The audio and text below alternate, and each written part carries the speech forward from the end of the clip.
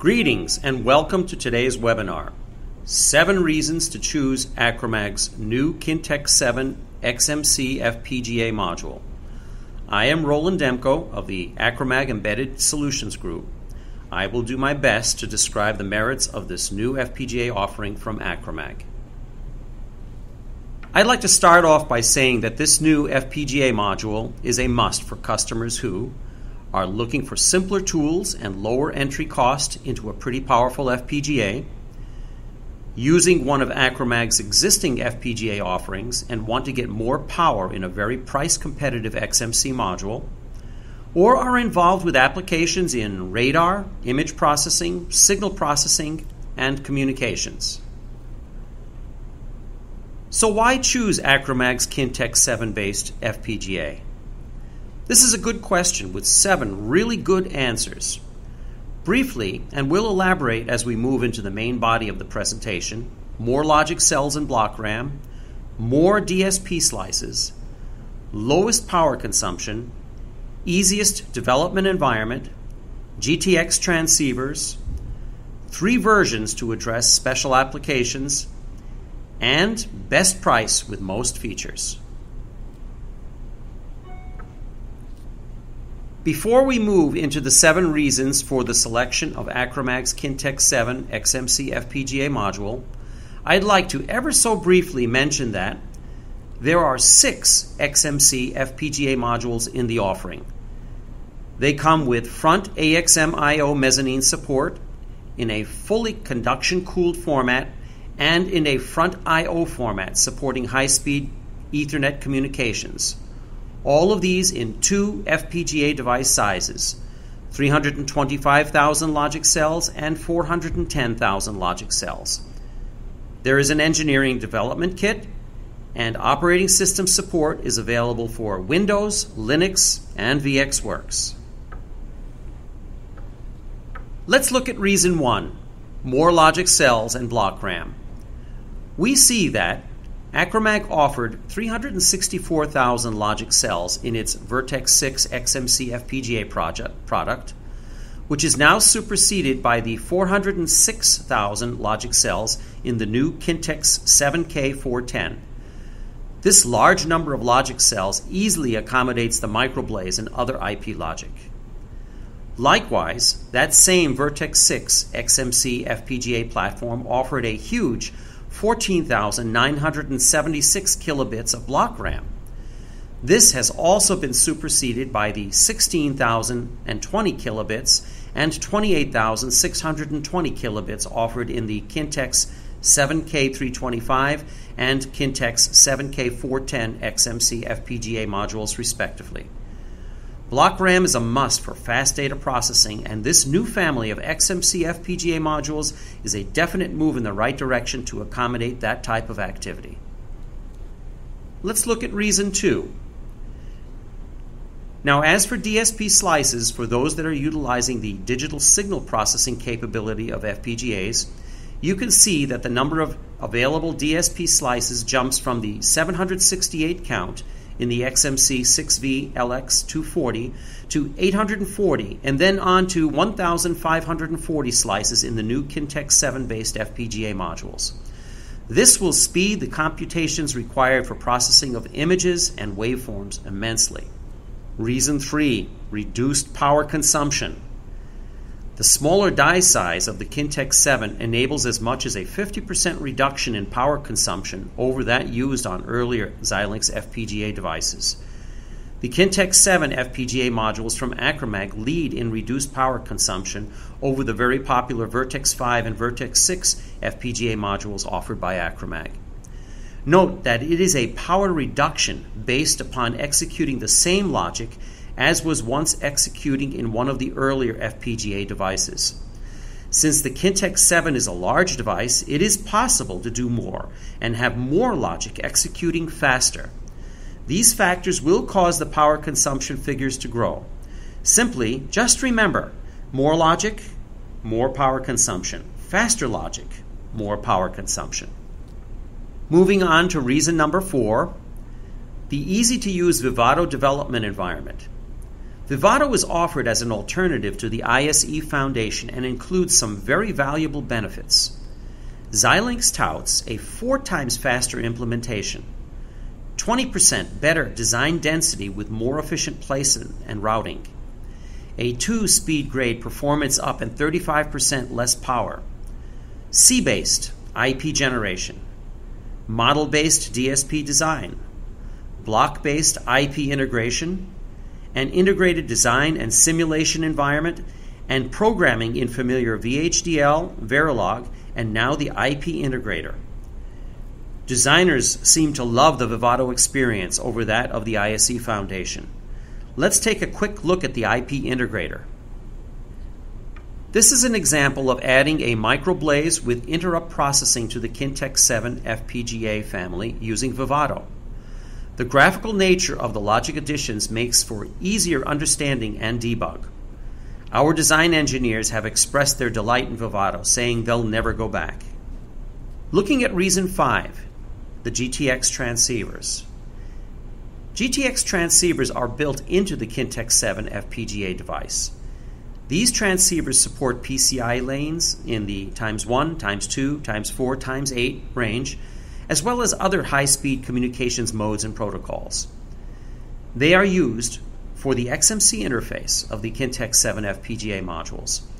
On earlier XMC and PMC modules from Acromag, the bus interface was mostly implemented separately from the user programmed FPGA.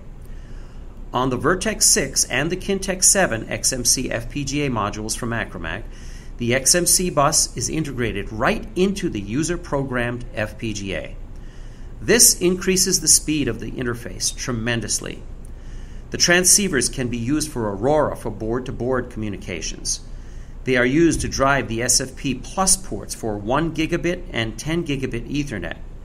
And the GTX transceivers are used to implement XAUI communications, up to four channels on the XMC 7K325 and 410, either the AX or the CC versions.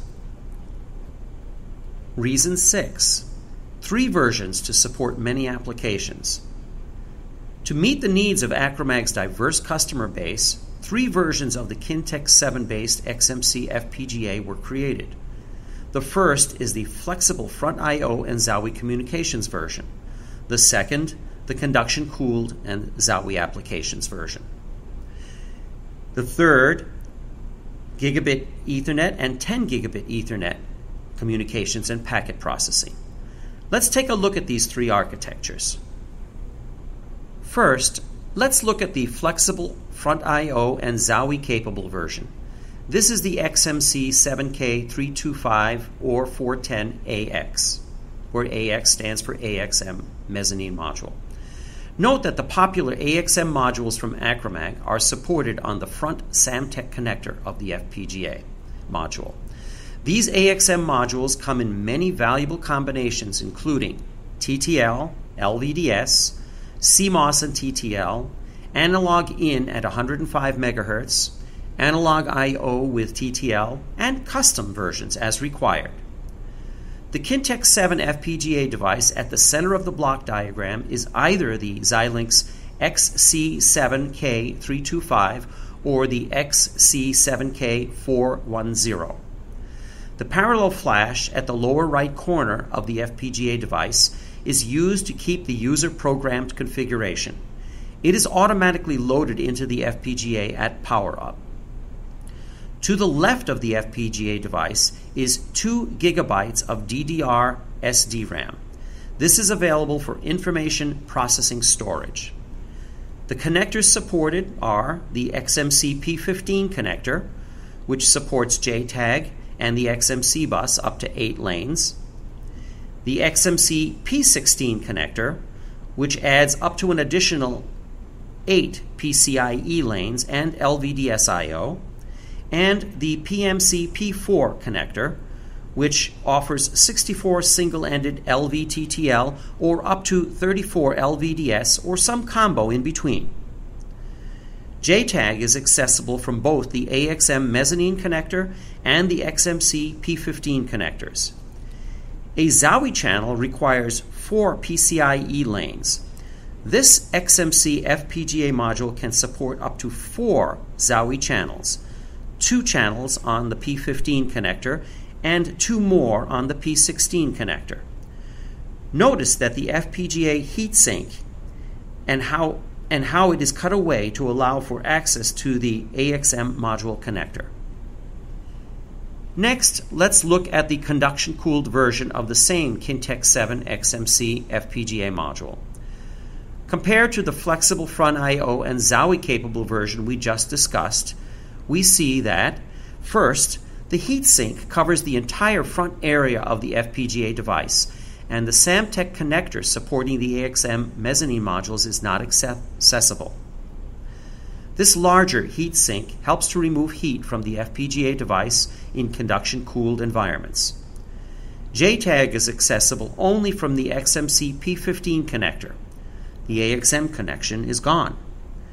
The remaining features of this model, the XMC 7K, either 325 or 410cc, are identical to that of the XMC 7K 325 or 410AX version.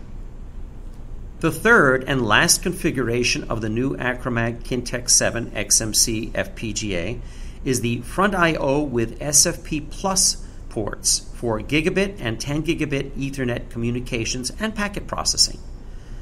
This XMC FPGA module differs from the two we just discussed because of its two built on SFP ports supporting gigabit and 10 gigabit communications.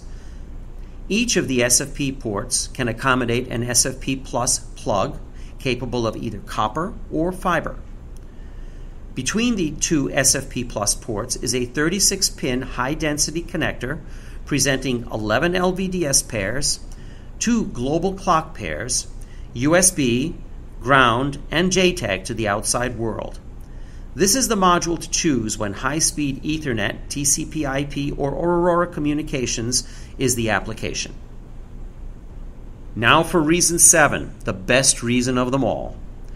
The new Acromag Kintex 7 XMC FPGA modules are very price competitive, less expensive than any other XMC FPGA module offered by Acromag other than the XMC SLX 150. And it has more of everything an FPGA programmer needs than any other Acromag XMC FPGA offering. And we are taking orders and shipping these modules right now.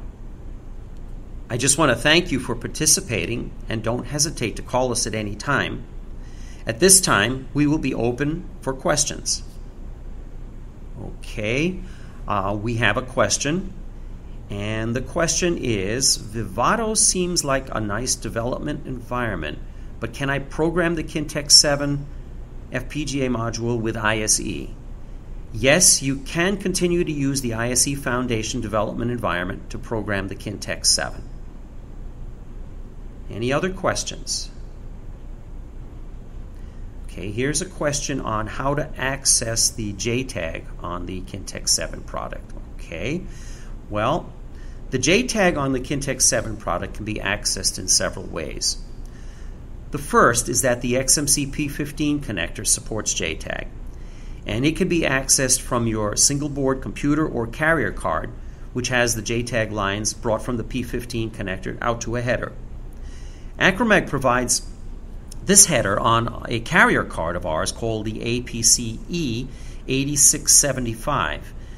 Now, this card will accommodate the Kintex 7 card. It is a PCI Express carrier card, and the header will make you have access to the JTAG port. Now, there's another way. If you look at the XMC 7K325 and the 410, AX, which means that you have the AXM mezzanine support on the module. You can additionally get access to the JTAG by way of that of an AXM EDK module, which plugs onto that connector. Um, so that will also give you access to the JTAG. And the AXM EDK module comes in the engineering design kit when you purchase this module.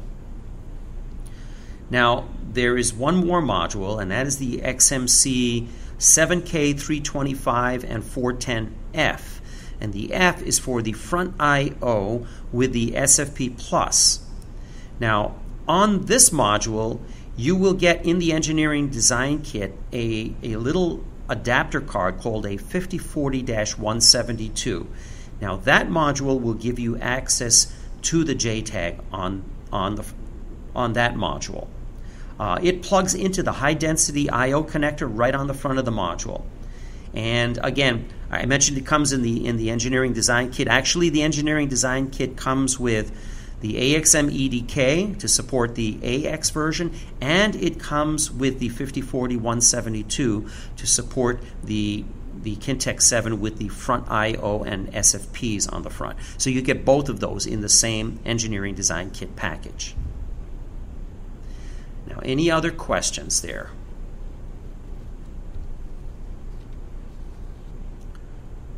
Okay, we have one more question coming in, and uh, so uh, this customer has an older XMC SLX 150 product that he's using, and he's wondering what's the best way to make the upgrade to the Kintex 7 card because it's bigger and faster. Well, my recommendation would be to migrate first to the Vivado development tool. Okay, the XMC SLX 150 was programmed on the ISE Foundation. So once you migrate to the Vivado development tool, you would need to do a little bit of a conversion because the XMC SLX 150 used the local bus. So what you're going to want to do is convert that over to the AXI bus. And this will require a little bit of VHDL. Uh, you can also use the Vivado Create and Package IP Wizard to assist with this effort. Um, the P4 connector, which is the rear I/O connector, and the AXM connector, which supports the AXM mezzanine modules on the front of the card. The logic for both of those is consistent between the SLX 150 and the 7K uh, 325 or 410AX. There'll only be some very small constraints file changes that'll be required to re implement that logic for those connections. I think at that point you're going to be good to go. And I hope that answers your question there.